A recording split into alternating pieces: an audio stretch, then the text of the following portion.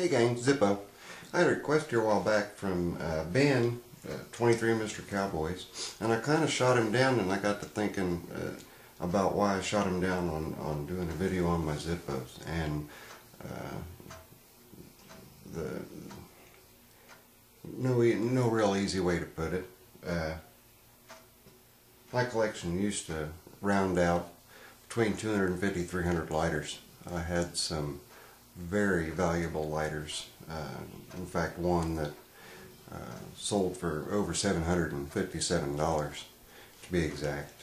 Um, I have been appraising Zippos for many, many years. Uh, my name, Zippo Varga, obviously is a derivative of uh, Zippo Lighters and George G. Blaisdell's advertising prowess uh, in hiring a uh, an artist to do pinup girl portraits holding the lighters. Uh, Wendy uh, is one of the girls. Um, but his name was Varga, so that's where the Varga comes from in my name. Um, I in 1996, I had a water skiing accident, and that water skiing accident uh, ultimately uh, is what caused the onset of me becoming disabled. I fought the doctors and their advice to retire at that time in 1996. Um, I continued to work uh, up through uh, 2005. Um, then my mind finally wrapped around the whole concept that there was no way that my body could function well enough to provide for my home, for my family, uh, and whatnot. And having to sell off a lot of my lighters while I was down and out. I was down and out for 18 months uh, during the time that, uh, um, and, and during the time I was recovering from a water skiing accident. And during that 18 months, I had to sell a lot of my collection. Uh, I have not actively been collecting now since then, since I uh, was essentially forced to sell my collection. Um, but because of my namesake and a number of good friends that I have and people understanding, uh, my collection has grown uh, little by little. Of course, there were a few lighters that I refused to get rid of, and they had only sentimental value to me. They had no real real value. So all that was well and good. So Ben, buddy, this is for you.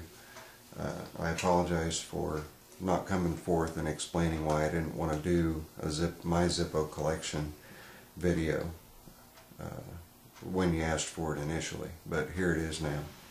Um, I'm going to break it up into uh, some different parts because there's a lot of interesting factoids uh, about Zippo and George G. Blaisdell uh, when the lighters came into fruition, uh, when the patent was finally given in 1935, when the first Zippo lighter was made, some mistakes that Zippo themselves have made in their release re-releases of replicas of the past lighters um, different things to look for when you're collecting. There are, there's a lot of venues uh, when it comes to your particular taste. It's just like in collecting knives. You can collect what appeals to you. You can do that also with Zippo lighters. There are so many different areas that include Zippo lighters. For example, uh, in the movies, if Zippo was a live person, Zippo would have Zippo lighter Zippo lighters would have been in more movies than any other actor or actress in the history of movie making. That's how often Zippo lighters uh, are have have been in excuse me have been in videos or have been in movies, which is pretty cool, and TV shows and whatnot. Uh, I remember uh, one thing in particular. Uh, Luke Perry in 90210, the old original show, he uh, used his lighter, uh, lit it, set it on the counter. Woke up the next morning, closed his lighter, and put it in his pocket. Obviously, he burned it until it ran out of fluid. But um, just because a Zippo lighter's out of fluid doesn't mean that that lighter is not a physical part of a person. People grow absolute attachments to their lighters. Uh, their lighters tell so many stories, and mine are no exception. Um, some of the ones that I've kept absolutely have their story. There's no amount of money that can buy them from me. They are constant reminders of good times in my past. They're constant reminders of just different eras, diff different uh, different stages in my life. Um, this first video it, it is just for Ben, just to show what I've got in the way of the Zippo collection. Um, I'm kind of hiding the ashtray back here, as you can see. Zippo ashtray that sits right by my bedside uh, on my nightstand. Of course, my phone never fails to go off when I'm trying to do a video. uh, Zippo advertising memorabilia uh, spans a pretty wide variety. In fact, Zippo even at one point in time had a balm for your skin, uh, skin balm, which uh, thought was just kind of off the wall and neat and interesting. Um, but my Zippo lighters, what, where, when, and why. Real quick, real, real quick overview here. Um, right here, this was the first Zippo that uh, I purchased for myself.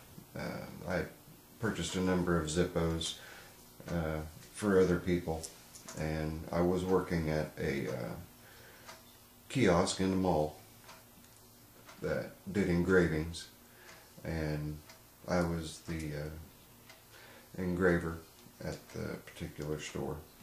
It was all before computers, everything was all hand done.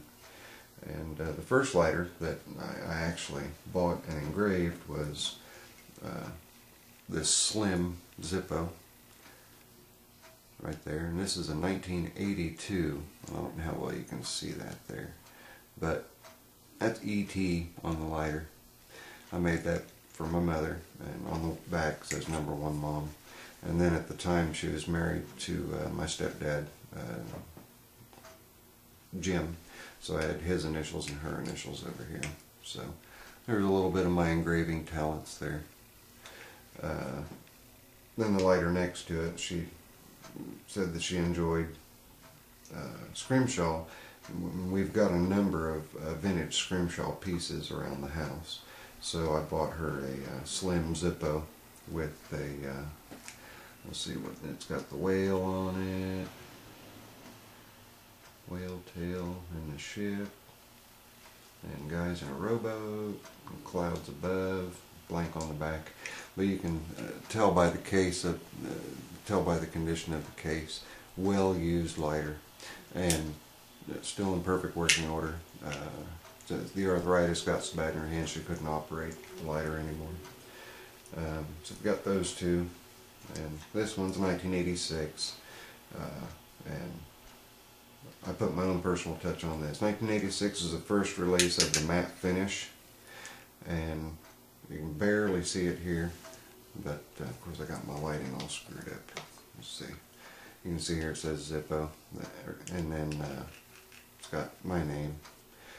And what I did was I cleaned the matte finish off of the sides, and then kind of picture framed it around here and cleaned the edges and polished it all. Uh, Zippos were really infamous uh, throughout war times. They were actually standard military issue in some of the wars. And uh, a lot of them are at the Zippo Case Museum and they're uh, essentially trench art. Uh, there's trench art knives, trench art lighters, trench art ashtrays, you know, taking artillery shells, making lighters out of artillery, just all kinds. You name it. The guys down the trenches are, you know, in there for four or five days at a time, weeks at a time. They got to have something to do. Well, get their knives out and get to work. So, uh, anyway, going on uh, about just uh, the lighters that um, have a meaning to me or have a meaning to my mother. Uh, this one here is uh, this was a series that was done, uh,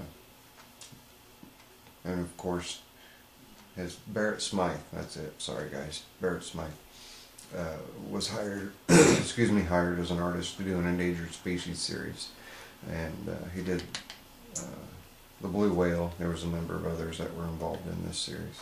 This is a mint and unfired lighter uh, from back in the 1990s, early 1990s. Uh, this is also Barrett Smythe design. This is actually in pewter. It's embossed and then glued onto the face of a chrome zip, high polished chrome Zippo lighter. Uh, some of the other lighters that uh, have uh, personal meaning that will never go away are this one. This was given to me recently. It's a 1941 replica. It was given to me recently by uh, my daughter's boyfriend, Kyle. Great guy. Uh, love him like a son. Um, but the enduring flame of friendship is the same underneath my name here, which I thought was pretty cool. Going on, uh, this eagle lighter here, uh, the back of it reads, Take me as I am, and Love Me for Me was given to me by a very good friend of mine, uh, Amy. And she will ever, forever be my sister. Um, just one of the biggest hearts of, of, any of any person that I've ever met. So that's where that one came from. Uh, going over to the cigarette lighter cases that I've got sitting over here. This particular one, I was working uh, as a bartender and one of my regular customers came in often. And this is the case that I carry all the time, and I've been carrying this case since, oh Lord, I can't tell you how long. I'll give you an idea, it used to say Zippo across here, as you can see by this one that has part of it on there. It was embossed Zippo across there, and also on the button. Well, that's all wore out. Uh, this and uh, I cut the finger groove in it. This case originally was solid on the bottom. Made it difficult to get the lighter out, so I put the finger release on there. I'll be riding down the road on my Harley, I'd lock my throttle down, reach over and grab my lighter, and heading down the road 50 miles an hour. I never worried about my Zippo lighting, so that I could light my cigarette while I was on the fly. But uh, that uh, is the case that I always use. But anyway, back to this one. um, I had always mentioned to him that I thought that was a pretty cool uh, case, and I asked him who made it for him. And uh, just a leather worker buddy of his that made saddlebags and, and leather adornments for uh, Harleys threw it together for him one afternoon. And um, I came into work one day, and a little manila envelope was a letter uh, telling me that he had moved to another state, and this was in there, and he said that he wanted me to have it as a as a reminder of him. Also in the envelope was a Harley uh, Harley T-shirt, which I still have, and these are. I'll never get rid of this. And I carried this for a while, but I didn't want to wear it out any more than it was already wore out. So that, uh, and as you can see, this one's also got the thumb hole bottom. And uh, he did that to his case after he saw how I customized my case, but with his snap being so slow, he couldn't come up so high. But anyway, same deal there. Hope you get the lighter out. But uh, this is one I, I, no longer carry, but will never get rid of. Um, so it kind of shows you uh, a Zippo is not just a means to light a candle or to light your cigarette or uh, to light your path or uh, what have you. A, a, Zippo lighter can have uh, incredible meaning. Uh, it can be a life-saving device. May, uh, many Zippos have been life-saving devices. Um, but at any rate, Ben, buddy, this one's for you. And I apologize for not uh, sucking up my, uh, I don't even know what, what a good phrase would be for it. Um, just I guess sucking up my courage and, and putting the past in the past and going ahead with uh, making the video even though my collection isn't near what it used to be. So this is what we got. Uh, there's some things that I've left out uh, that I didn't pull together, but I'll tell you real quick. This is a Zippo letter opener, a Zippo right there. I've got a Zippo. Was that even in the picture? Yeah, it's in there. Okay. It's a Zippo money clip. And everybody, you can purchase Zippo wicks and trademark gold Zippo flints. And uh, Ronson, by the way, is now also owned by Zippo, in case anybody didn't know. And also, uh, Case Knives, uh, WR Case and Sons, is also now owned by uh, Zippo. I believe 2003 was when they purchased. Let me, let me look. Let me check here real quick. Make sure I'm right. Excuse me. 1993 was when uh, Zippo bought Case Knives. So now Case Knives are also made in Bradford, Pennsylvania, um, by Zippo Manufacturing. Um, other things, uh, this is actually, I think, China or Japan, something like that, but it is licensed and endorsed. This is a fuel tank. Uh, carries enough fuel to fill one standard Zippo lighter and a little bit of extra. It comes with a Zippo st stamped uh, ring with a groove in it so you can undo the screw for the flint and then this is a piece of rubber that will hold your Zippo flint so it's all right there. You take the top lid off. Then you take this cap off. And this is then the cap has the, uh, the seal inside the lid. Keep everything from evaporating there. And then I don't know how well it can be seen but there's a tiny little hole here. You just put that hole to the top when you're pouring your Zippo fluid in and the fluid will run into your uh, reservoir on your lighter insert and uh, keep your lighters full. But it will never evaporate out of here. Then to fill it, it, you don't have to put it in a tiny little hole. This unscrews from the, the base. So you I'll go ahead and do it here real quick. It is full of fluid, so get my hand there we go. Okay. I'll show you the whole thing comes off. There. And I've got it about two-thirds the way full, and that's the way they say to do it, not to fill it completely full, because it'll defeat the purpose of the air bubble. Have to have some room to, for that air bubble to work, because the hole's so small. But there you go, that's that. Get the cap back on there. and sitting right beside it is a what's called a permanent match. They've been around for years and years and years, but Zippo went ahead and endorsed. Again, Chinese made, uh, but it's a permanent match. It's just got wick material on either side and then a striker and your flint bar, and you just flick it like that. There you go, and put it out. Stick it back in there and tighten it back down. So that's that. Uh, these are little Zippo stands, which are kind of cool, and they've got magnets in them I don't know if you can see that, where it kind of wants to hang on to it. That helps you just essentially drop your Zippo into it and it'll orient it and hold it in place. And that's a nice old, uh, uh, never been used Venetian uh, Zippo classic design. But anyway, these bases can, can be bought pretty readily. Uh, this is a handy light. Um, you could buy just the base or you could buy a ready-made handy light drill a hole in the bottom of any canned base lighter, which uh, when I say canned, the bottom of it's indented instead of being, let's see, like this 1941. If you look at the base of it, it's completely flat. It wouldn't work with this base, and the reason um, is just because the base is designed to work with the canned uh, type lighters, so it fits in there. But um, it just got out. I don't know if that can be seen well enough or not. Let's get the old ITP Polestar out here and flash it in there so you guys can see that. Screw down in there. But little Allen wrench so you can put your any light, your favorite lighter uh, on a stand. They no longer make the handy light Zippos. So any that you can find uh, they're starting to go up in value on eBay. Uh, used to be able to pick them up pretty much for retail, but since I stopped making them, uh, getting a little harder, obviously. Uh, something else that they are no longer providing, I believe you can still buy them at the Case Museum and Case Store, but that would be, I'm going to read this for you, is the cent never spent for a Zippo repair. To re, excuse me, the cent never spent to repair a Zippo lighter.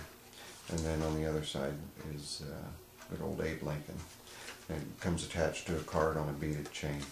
These are also very collectible, and there are older versions that, uh, obviously this one's from zippoclick.com, um, so this is a newer one. Uh, the older ones, I've seen just the card and the penny go for crazy money. Crazy money.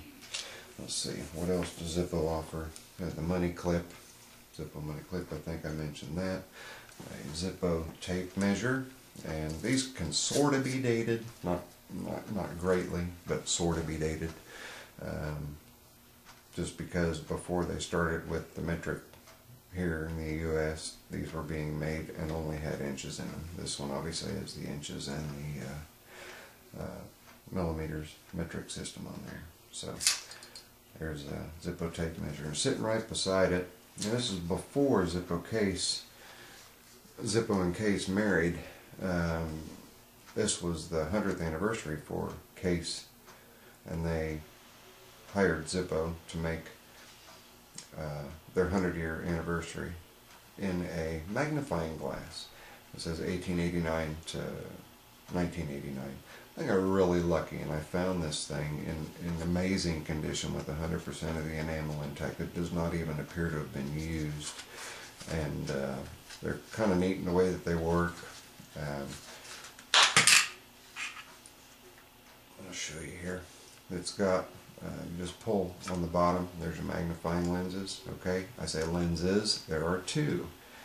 You can slide one of them up to reduce the power by half, which is kind of cool, depending on how much magnification power you need. And this uh, essentially is just the lid of any of your regular Zippo that's just been cut a little longer and it's been inserted in there and there's a plastic insert on either side that's riveted on either side to hold everything in place. Um, these were made, pill boxes were made, the pill boxes are collectible. Like I said, the tape measures were made. Some items that I don't have on the table that were also made were, excuse me, There's some other things that were made. Uh, a lockback knife was made, an early um,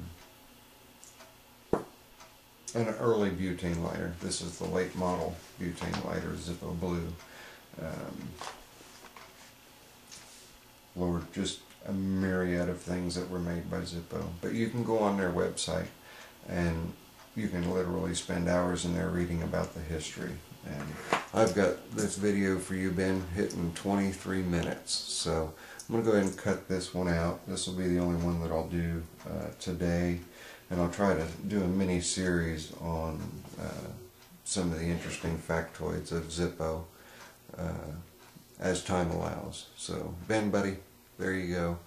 There's uh, a little bit of uh, history on my Zippos, what I own, what I've kept. Um, and how near and dear uh, Zippo lighters are to me. Uh, it's not just a not just a name. It's uh, it, it's a passion that I've had since obviously 1982 was uh, a couple of years ago. We're looking at 30 years ago. Boy, I'm getting old. All right, guys. This is Zippo. Ben, love you, brother. Later. I'm out.